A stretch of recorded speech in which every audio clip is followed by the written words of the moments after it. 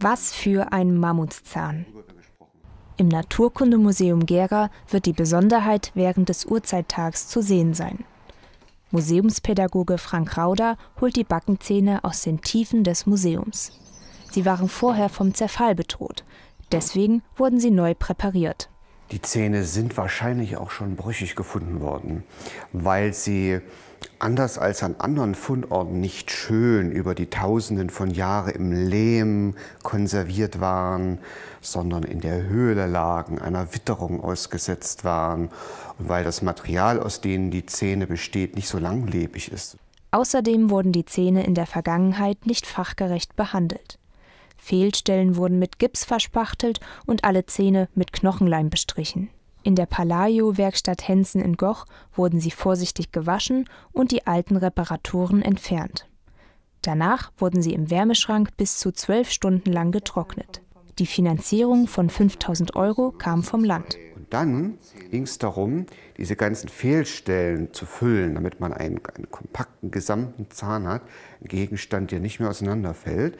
Dann hat man den Zahn, wie er war, in Silikon eingemantelt sozusagen, wie umstrichen sozusagen, oben ein Loch gelassen und dann flüssiges Epoxidharz eingefüllt.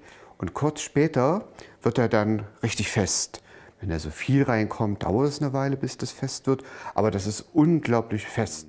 Die Backenzähne von Mammuten und Mammutkälbern sind zwischen 40 und 20.000 Jahre alt. Man glaubt gar nicht, dass die Zähne über Tod und Leben des Tieres entschieden haben. Also siebenmal ist jeder Backenzahn insgesamt da. Und wenn der dann abgenutzt ist durch das viele Kauen von dem zähen Gras zum Beispiel, dann sieht es schlecht aus. Dann kann das alte Mammut nur noch sehr schlecht oder konnte das alte Mammut nur noch sehr schlecht kauen. Und irgendwann konnte das Tier dann gar nicht mehr fressen. Dann ist es gestorben. Und deshalb sprechen wir heute von Mammutfriedhöfen.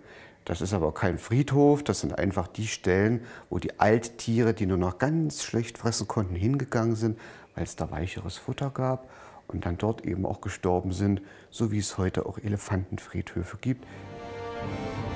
1874 wurden die Backenzähne im heutigen Stadtteil Pfurten gefunden.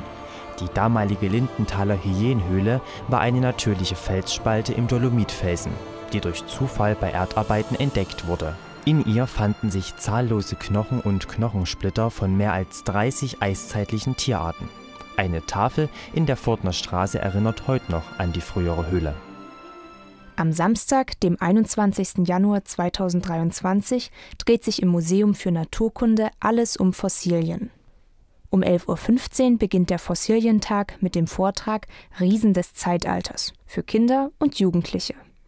Für Erwachsene wird es auch um 14 Uhr interessant. Die Top 30, das ist ein Bildvortrag hier oben im Haus. Da geht es um die 30 vielleicht interessantesten und spektakulärsten Fossilien, die man aus dem Stadtgebiet von Gera kennt. Das komplette Programm ist auf der Website des Museums zu finden. Vom Land in die Tiefen des Wassers kann man in der temporären Ausstellung Herrscher auf dem Meeresgrund eintauchen.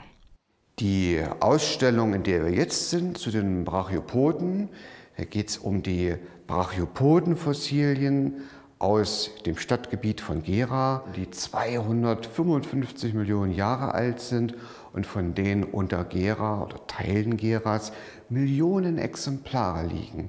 Einige sehr häufig, andere sehr selten. Die wird bis zum 28. Mai zu sehen sein. Bis 28. Mai. Und dann gibt es hier wieder einen Themenwechsel. Dann geht es in der zweiten Jahreshälfte hier in diesem Raum um Mineralien der italienischen Insel Sizilien. Die 13 Backenzähne werden vorerst ausschließlich am Uhrzeittag gezeigt. Als Erinnerung bekommt jeder Besucher am 21. Januar ein Fossil aus Gera geschenkt.